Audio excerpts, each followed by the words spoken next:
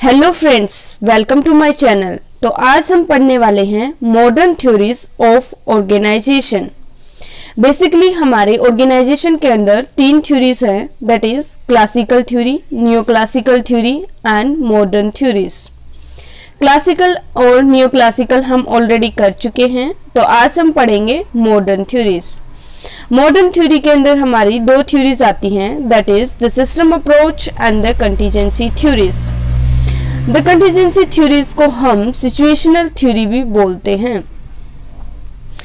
तो हम बात करते हैं the system approach and contingency approach system approach है जो हमारी, वो किस चीज़ पे एम्फेसिस करती है? This is on interactions among subsystems तो जो हमारी सिस्टम अप्रोच है, वो क्या बोलती है? हमारे जितनी भी एक्टिविटीज़ हैं जितने भी हमारे सिस्टम हैं ऑर्गेनाइजेशन के अंदर सब सिस्टम है ऑल आर म्यूचुअली डिपेंडेंट जितने भी हमारे वेरिएबल्स हैं, वो एक दूसरे के साथ कनेक्टेड हैं इंटरलिंक इंटरलिंक्ड हैं इंटरलेटेड हैं. जो भी हमारे पार्ट्स हैं that is subparts and mutually dependent तो सिस्टम अप्रोच क्या कहती है कि हमें इनके अंदर कोऑर्डिनेशन रखना चाहिए कि अगर हम एक चीज़ के अंदर चेंज कर रहे हैं तो उसकी वजह से जो दूसरी है, वो भी अफेक्ट होती है। मे बी डायरेक्टली और इनडायरेक्टली तो जितने भी हमारे सब सिस्टम से सारे एक दूसरे से इंटरलिंक्ड हैं इंटरडिपेंडेंट हैं। It treats all organization alike and interact with the environment and adjust as per the changes provide a theoretical model of understanding The system is basically a combination of parts and subparts. Each component begin and as a subsystem. यानी जो हम अगर total करें तो हमारा पूरा एक system है बट अगर हम उसके अलग अलग वेरिएबल को स्टडी करते हैं, वो क्या हो गए उसके सब सिस्टम हो गए पार्ट्स और subsystem are mutually related although relationships में भी डायरेक्ट और इनडायरेक्ट ठीक है तो किसी भी ऑर्गेनाइजेशन के जो सब सिस्टम है अगर हम अकेले पार्ट्स को देखें, ठीक है? कि जैसे हमारे जितने सब सिस्टम होने चाहिए, उनमें से कुछ है, कुछ नहीं है तो वो क्या है? वो अच्छे से सफिशिएंट रिज़ल्ट हमें नहीं देंगे। तो प्रॉपर अरेंजमेंट होना इनका बहुत इंपॉर्टेंट है greater strength to the whole as a compare to the individual मतलब ये है, अगर ये एक साथ काम करें, सारे सब सिस्टम को हम अगर जोड़ के रखते हैं तो हमें ज़्यादा अच्छे रिज़ल्ट मिलेंगे as compare to individual the systems transform input into outputs. ठीक है, जैसे हम इनपुट डालते हैं, फिर वो चीज़ प्रोसेस होती है और फिर आउटपुट निकल के आती है। हम बात करते हैं कंटीजेंसी थ्योरी की। इसको हम सिचुएशनल थ्योरी भी बोलते हैं। It emphasis the impact of environment on organization style यानी जैसे जैसे इन्वायरमेंट चेंज होगा, उसके अकॉर्डिंग हमें ऑर्गेनाइजेशनल स्टाइल भी चेंज करना पड़ेगा। इस organization is taken as a unique identity her organisation की अपनी पॉलिसीज़ होती हैं, अपना स्ट्रक्चर होता है, अपने रूल रेगुलेशन होते हैं। ठीक है impact of environment is the major concern suggest practical solution to organizational problems तो कंटीजेंसी थ्योरी क्या कहती है कि कोई सिंगल मेथड नहीं है जी हम अपने ऑर्गेनाइजेशन के स्ट्रक्चर को डिज़ाइन कर लें। ठीक है, वो सारी सिचुएशन के अंदर फिट नहीं हो सकता। हमें जैसे जैसे ऑर्गेनाइजेशन के अंदर चेंज आ रहे हैं, जो सिचुएशन आएगी, उसके अकॉर्डिंग चेंज करना पड़ेगा हमारे ऑर्गेनाइजेशन के स्ट्रक्चर को। इसीलिए हम इसको सिचुएशनल थ्योरी भी बोलते हैं। This approach suggest suggest that structure of an organization should be tailor made ठीक है? और इसको भी अफेक्ट हमारे ऑर्गेनाइजेशन को। दोनों फैक्टर अफेक्ट करते हैं। Internal environment internal needs as well as external environment ठीक है? तो दोनों चीज़ें अफेक्ट करेंगी। इंटरनल जो होती है, हमारी कंट्रोलेबल होती है बट जो हमारी एक्सटर्नल एनवायरमेंट है, वो अनकंट्रोलेबल होता है। therefore, while designing the structure, various factor affecting it should be considered. तब हम अपने ऑर्गेनाइजेशन का स्ट्रक्चर तैयार करते हैं। System approach it is a collection of interrelated parts acting together to achieve some goal which exist in the environment also system is defined as a set of object working together with relationship between the objects and their attributes related to each other and to the environment यानी जितने भी attributes हैं जो भी हमारे objective हैं ठीक है सारे क्या हैं एक दूसरे से related हैं ये चीज़ हम ऑलरेडी वैसे पढ़ चुके हैं कि जो हमारा इन्वायरमेंट है ठीक है सारे जो इतने भी फैक्टर हैं वेरिएबल्स हैं ठीक है तो हमें क्या करना है सबको एक साथ लेके चलना है ठीक है कलेक्टिवली और अपने गोल्स को अचीव करना है। हम तभी गोल को अचीव कर सकते हैं। हमें सिस्टमेटिकली काम करना है। इसका नाम भी क्या है? सिस्टम यानी हर काम सिस्टम से होना चाहिए। एक दूसरे पे अगर एक चीज़ में कुछ भी हम कर रहे हैं तो वो दूसरी चीज़ पे अफेक्ट कर रही है। ठीक है डिपेंडेंट वेरिएबल हैं। तो हमें हर चीज़ को ध्यान में रखते हुए डिसीज़न लेना चाहिए। वैसे ही एक्शन लेने चाहिए, ताकि जो हमारे ऑर्गेनाइजेशन के गोल्स हैं, हम उनको इजिली अचीव कर सकें। फिर हमारे सब सिस्टम इन एन ऑर्गेनाइजेशन जो हमारी सबसे जो हमारी सिस्टम थ्योरी पढ़ी, हमने देखो दो थ्योरी पढ़ी सिस्टम एंड कंटीजेंसी तो सिस्टम थ्योरी है, इसके अंदर हमारे सब सिस्टम आते हैं, वो हम स्टडी करने वाले हैं. तो इसमें हमारा फ़र्स्ट है टेक्निकल सिस्टम तो टेक्निकल सिस्टम हमारा क्या कहता है? Technical system is a medium for conducting work in an organization ये क्या कहता है कि किसी भी ऑर्गेनाइजेशन के अंदर कोई भी एक्टिविटी कोई भी टास्क परफॉर्म करने के लिए जो नॉलेज रिक्वायर्ड होती है इंक्लूडिंग टेक्निक्स ठीक है? कोई भी इनपुट आउटपुट करने के लिए जो भी आप टेक्निक यूज़ कर रहे हो, कोई भी नॉलेज यूज़ कर रहे हो स्किल्स का यूज़ कर रहे हो, ठीक है? तो वो सब ये क्या है? एक टेक्निकल सिस्टम है।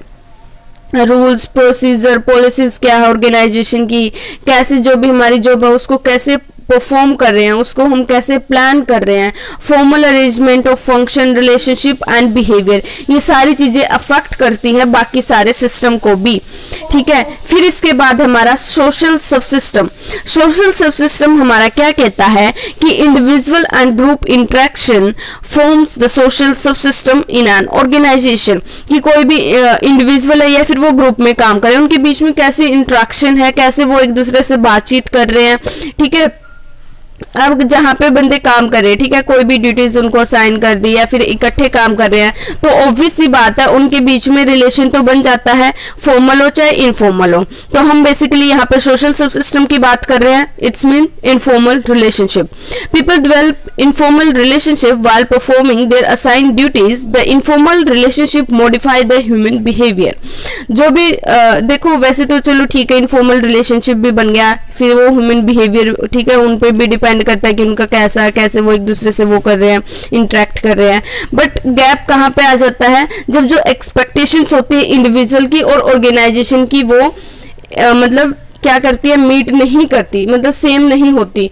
तो वहाँ पे क्या हो जाता है? Can cause possible dissatisfaction among the employees and employer both which needs to be taken care of तो इन चीज़ों का भी ध्यान रखना अगर जो भी हमारा सोशल सब सिस्टम है किसी भी ऑर्गेनाइजेशन के अंदर, इसको अंडरस्टैंड करना बहुत इंपॉर्टेंट है फॉर सक्सेसफुल एडमिनिस्ट्रेशन फिर हमारा थर्ड है that is power sub system इसके अंदर हम क्या पढ़ेंगे?